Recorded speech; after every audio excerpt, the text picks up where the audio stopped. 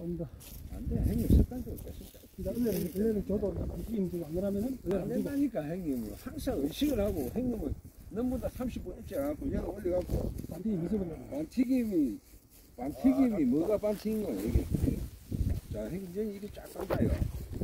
쫙 이리 간다 이거. 자, 쫙 가지요 여기서. 쫙 가자. 그럼 튀김이 이리 딱 돼갖고 가는 방향 그대로 튀김이 돼야 돼. 여기 딱 여기 튀김이 된다니까 야? 이리 되자 자 가는 방향으로 계속.